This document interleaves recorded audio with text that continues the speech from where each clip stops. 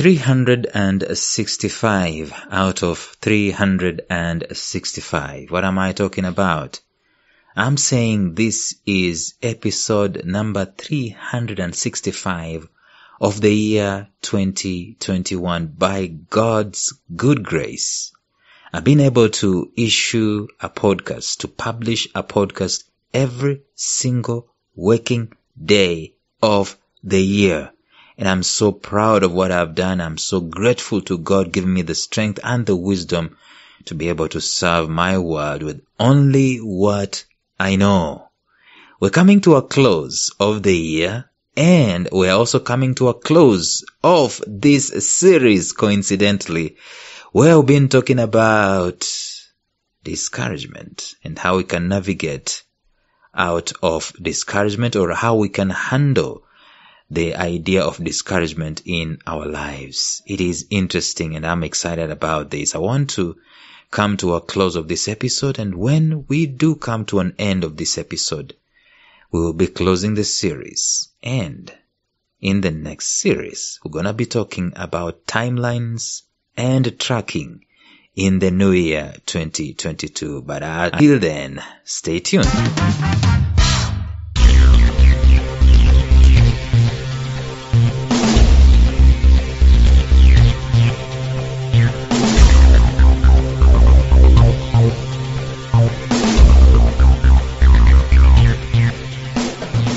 Welcome to the Life Signatures podcast with Lawrence Namale. Lawrence is a life coach, author, and keynote speaker who loves to tackle different topics on purpose, productivity, and resilience. His mission in life is to awaken all your boundless possibilities available in you. Life Signatures podcast is dedicated to bring to reality every single person who knows that deep down in their gut there's got to be more to life than this. And now, here is your host, Lawrence Namale.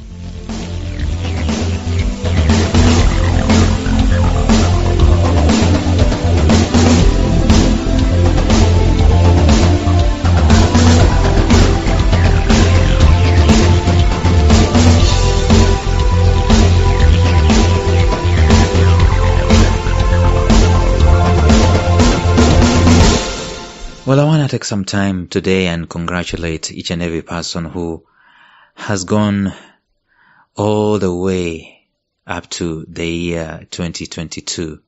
And uh, you've seen life come, you've seen things come and things go. But guess what? You're still standing. You're still on your two feet. You might not have gotten where you want to go, but you're still on your two feet. And if you look around, there's so much to be grateful for. In fact, if you force yourself to be grateful for things, you will be grateful that you have two eyes. At least you can see. At least you can hear for sure because you're listening to me. At least you can speak. You're breathing. You have hope. You have peace. You have direction in your life.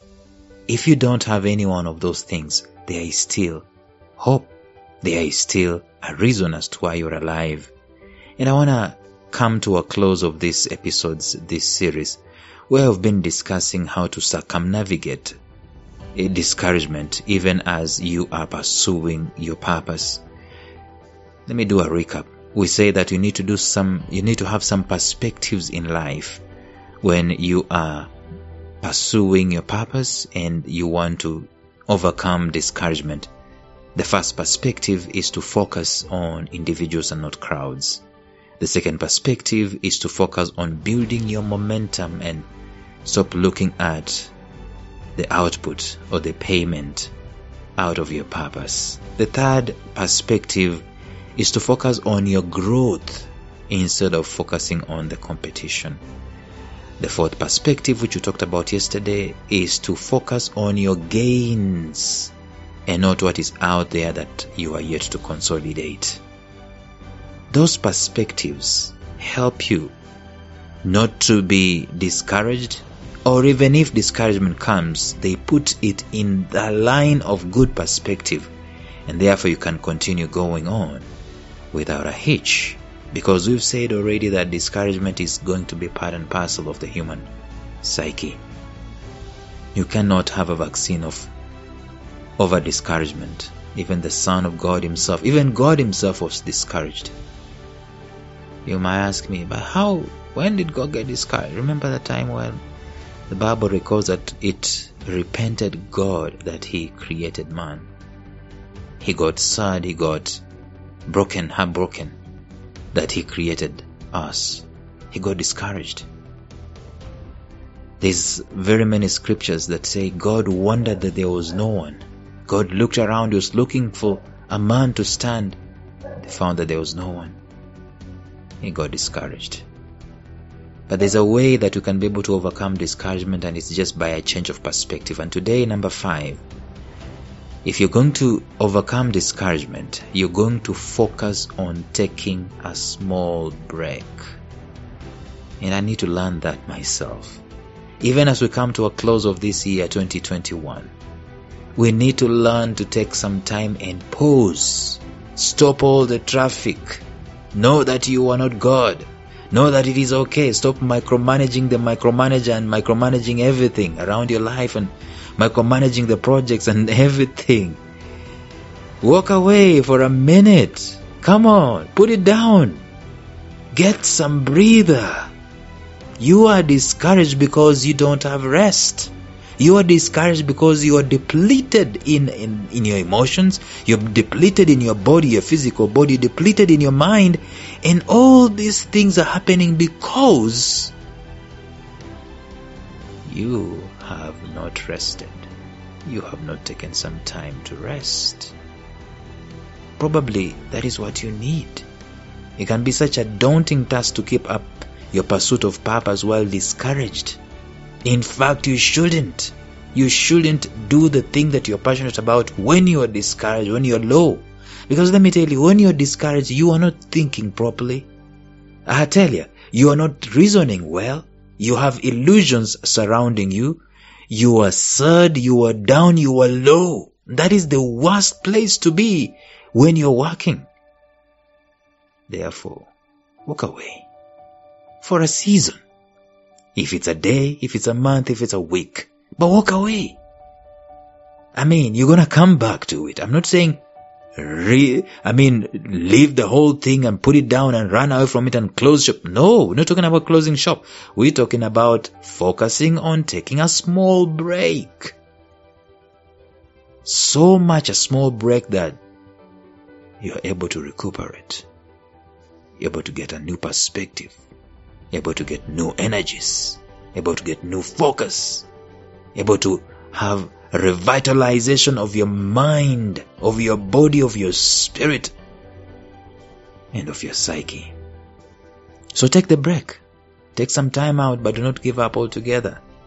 I'm not negating the fact that results, you know, and impact matter. Numbers matter. Yeah, I know. But there's one number that is much more important than all these numbers you are chasing. It's number one. That number one represents you and your health and what your vision is and what your purpose is. If that number one is not there, then forget about all the other numbers. You count, you matter. You are the SI unit, you're the core, you're the ground zero of all these things. So work on you. Take some time. I'm asking you to hang in there one more day, one more time, one more week. Let's see what comes out of this break. It's far much better than quitting. Don't quit. Because the proposition of a discouraged soul is to quit altogether. Instead of quitting, flip it. Walk away. Just for a day. Or just for a week. Or maybe, depending, even just for a month maybe in adverse circumstances just for a year. This is what Viktor E. Frankl did. He had a manuscript just before, I mean, he, he had an idea of coming up with a book just before the harrowing experience of the Holocaust came. He did not bench it all together.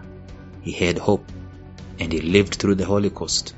And then after the Holocaust, it took him years but after the Holocaust, it took him 90 days, I think. Is it 90 days or 9 days? 9 days, I should say. maybe nine hours, I don't know, to write that manuscript, the bestseller, Man's Search for Meaning. At times, the break is just the moment that you are about to quit. But stay put in the break instead of quitting altogether because of discouragement. So, as the new year begins in 2022, learn to have these perspectives that can help you to buttress yourself against discouragement.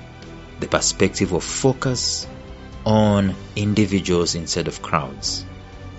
The perspective, number two, of focusing on your momentum instead of results and payment. Number three, the perspective of focusing on yourself and your growth instead of your competition. Number four, the perspective of focusing on your gains instead of what you are yet to achieve and attain. And lastly, focus on getting some rest instead of quitting altogether because of discouragement. I wish you all the best, all the success in this world that you're willing to work for. Until next year, bye bye and God bless you. Thank you for listening to Life Signatures Radio. If you enjoyed today's show, subscribe to Life Signatures Radio on iTunes, Stitcher, or visit our website at lifesignatures.libsyn.com. Life Signatures Radio, fresh, clean, and inspiring.